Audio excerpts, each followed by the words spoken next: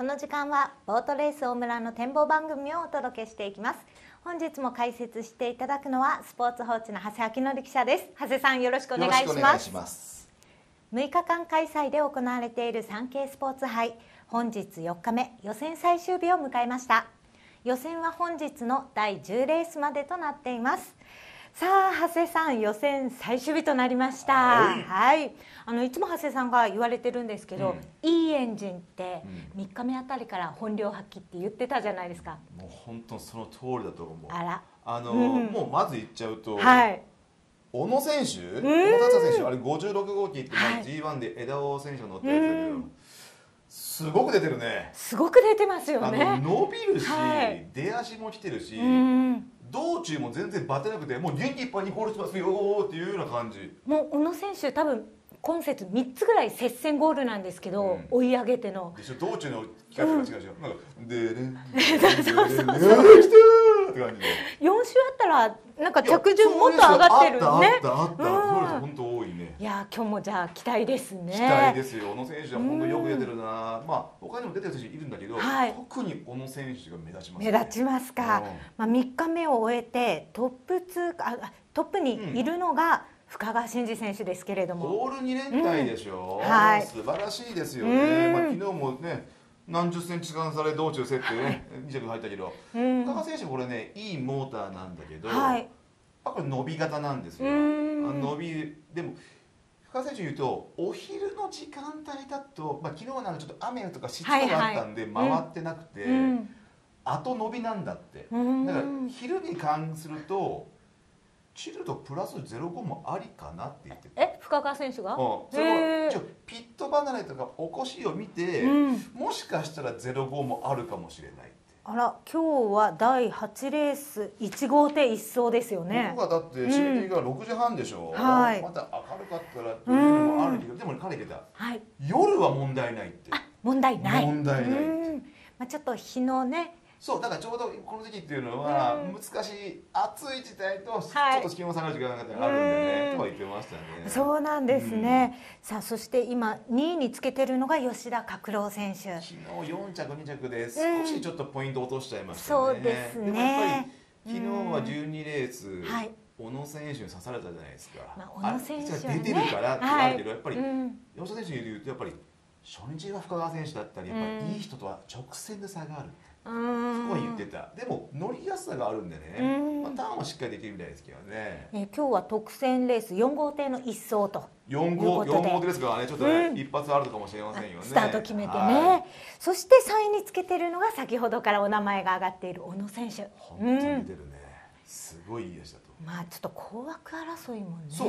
だからちょっと面白いと思いますよ、うん、はい、彼の場合はね初日の陰線失敗してるから、準優1号艇欲しいでしょうね、はい、そうですよね、もう本当上位5位までは A1 選手が固めてて。春園選手川村選手、うん、A1 ずらずらずらいますからね。いますね、はい、まあ、そして A1 選手も全員が今ボーダーの中にいます。ね、お、そうね。はい。ただボーダーが結構今高いんですよね。普通僕らって大体準優審査ボーダー六点までまでそうではいはい。六点四0でもその六点四0がその十八位の前後にいるけど、うん、その六点四0の下が五点五0なんだ。だいぶ差ありますよね。だからちょっとその、下位からの勝負かけっていうのはあんまりないのかもしれないけど、その、順位がいろいろ変わるとこは、はい、着順1個で変わりますからね。そうですよね。まあ今日は一層の選手もいますしね。勝負がけの選手も、ぜひ注目していただきたいと思います。すねはい、本日も最終レースまでお楽しみください。えー、長谷さんには本日も2レース予想していただいております。まずは注目レースです。こちらです。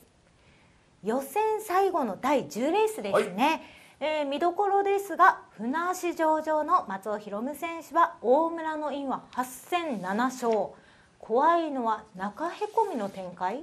はい松尾選手、うん、A1 レーサー最後の最後で1号艇が回ってきましたね。そうですね。ここまでね着順が31225、うん、悪くないですね。はい。モーター26号機は2年で28%ですけど、これ何度も言ってますよ。数字以上ね。こ G1 古賀選手、うん、古賀さんあ古賀選手？がよかった。よかったしね、はい、その前はね山本選手ね女子選手ねリナ選手。よかったしね、うんうん、だから今回もね伸び寄りでね足のいい方ですよって、はい、なんか乗り心地はちょっと気になるけど許容範囲ですぐ言ってましたね。さあここね侵入は枠なりと思いますよ、はい、まあ、安藤浩二選手は今ここまでオール3連台ですね、見込みはい安藤選手ね、うん、初日2日目小野達也選手と走ってたから なるほど。彼言ってたんです。いやあれね長谷さんって、うん、なんか新聞とかいろいろ見てたら、はい、伸びが三角になってるけどあれ、小野選手と一緒に走ってるから三角なんですよ、普通ありますから。そうなんですね。俺が悪いんだって言ってましたよ。じゃあ本人はいいという手応えあるんですね。直線普通だけど昨日はね、うん、前半のレースあの5コース幕出しめたように、はい、回り足はいいんだって。昨日後半も道中しっかり走ってますからね。だからしっかりスタート行って2コースが追走したいところですね。そうですね。ここね中へこみがちょっと気になって書いたのは、うん、夏山選手が F2 なんですそうでした。それも前節切ったばっかりなのに、はい。今節もスタートはもちろんいけない。昨日まで平均スタート28そうですね。もう言ってもらった、うん、ごめんなさいって。あのもちろん全能力を発揮したいんだけど、スタートだけは許してくださいって。もうあと道中はねやっぱりしっかり走られてるので、ね、3着もね。ありましたからね、はい、であとね石川選手がね、うん、試運転から分が分が悪くて、はい、スリット本番もスリット付近がちょっとあんま良くないんだって。うんなるほど。考えたらねフライング2本持って夏山選手が横にいれば、はい、これ前田健太選手頑張ってスタート行ったるであ確かに、うん、あるよね。ありますね。あとでも実はこう鶴選手が伸びはいいんだって、うん、現状でも。でもね、はい、最後6号艇でしょ、はい、6号艇ならもっと伸びるようにやってみたいと思うとちょっと決意表明したんですよ。まだ伸びるエンジンなんですかチルトプラス01.5とかいうのもあるかもしれないよね、うんだからちょっとここなんでこう鶴選手がチルトをどうしてるかっていうのも注目でしょうね。なるほど。やっぱ鶴選手は最近ね、うん、自分の若い選手を面倒見るようになってから外からチルと跳ねていくレースするようになってますからね。そうでしたね。やっぱあれは、俺を見とけよっていうことでやってますからね、今回は前回大村さんよくね、もう今回は反応があるモーター、はい、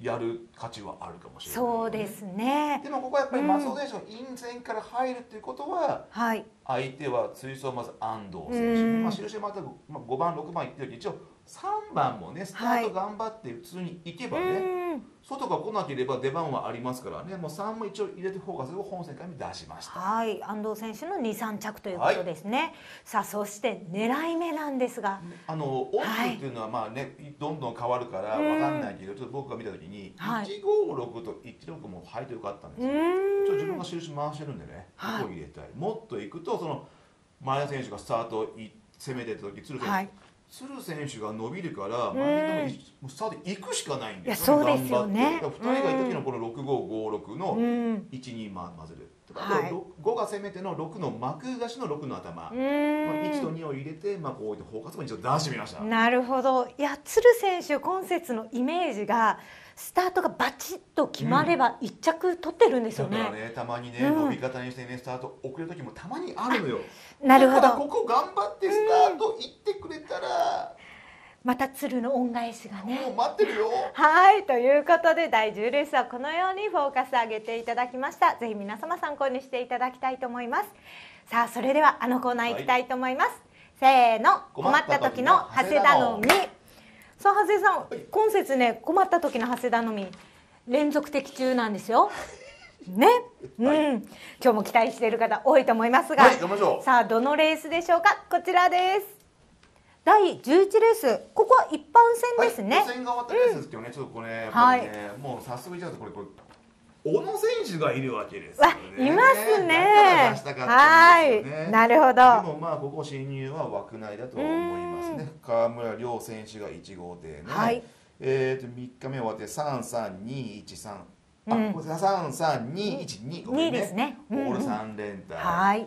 特別ね伸びるとかはないんだけど、なんかターン周りとかそうですね、きっちりシュッて入っていけるような足がある。今ね大村じゃなくてね陰線今10連勝してますからね。強いですね。強いですよね、まあ、インカ先前スタート決めて押し切りましょう、はい、ただここはもう6号艇で6コースになってもこれ小野選手を対抗にしました、うん、これ言ったように彼がダッシュの方が伸びますよ。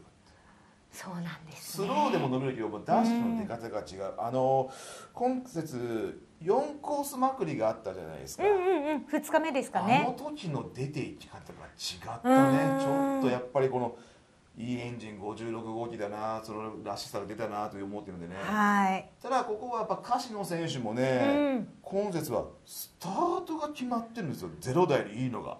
あ平均外ゼロ九ですか？今節。でしょ？でこれは G1 では山崎軍選手乗ってたモーターだよねぐんぐんって言ってましたね。ぐんぐんってたね、ということでやっぱ怖い。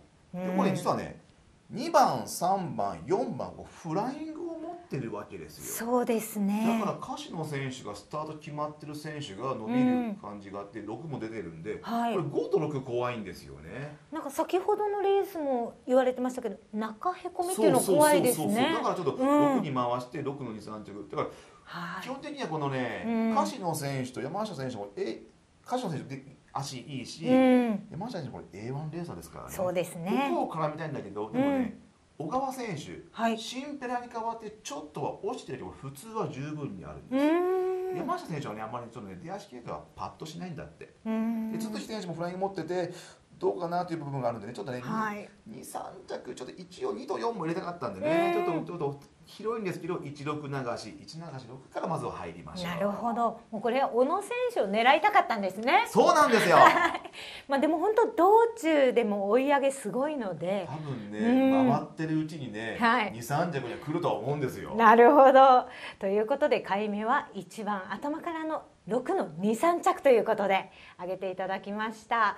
さあそして狙い目なんですが。配りましょうよ。ホームラン6コースでも、うん、っていうのが、ね、はい、この選手今季見ると6コースから2勝してるんですよね。だから別に1着を取れない選手ではない。なるほど。さっき言ったように、うん、234がフライング持ち、うん、柏野選手がスタート決まってる、はい、5が攻めていってくれてもいいし自分がまくりに行ってもいいんですよねチャンスは大いにありそうですね。でしょだから6とかやっぱ1、うん。